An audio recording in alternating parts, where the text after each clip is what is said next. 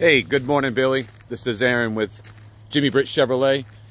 You inquired about our Pearl Iridescent 2500 High Country, and uh, you're in luck. It has been built. It is on the way. Uh, we've got dozens of trucks that are coming every day. This one just happens to not be here just yet. When it does arrive, I will give you a personalized walk around video of this truck. And I'm just out in the back lot, just to make sure that it's not here yet. And I don't see it. Here's a here's a high country that we just got in. And you see how they come in. The wheels are, uh, they come in separate and they put them on when it gets here.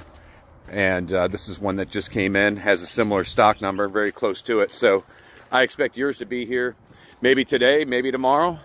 Uh, if you want to stop by on Saturday, I can give you a call late Friday to make sure it is here.